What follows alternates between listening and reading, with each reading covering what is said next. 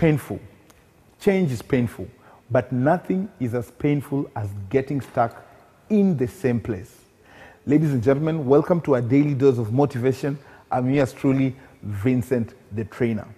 My personal mantra is stagnation stinks. And uh, this guides me every day in my life. And I just want to challenge all of us to ensure that there is no stagnation in our life because when there is stagnation, you are really going to feel work.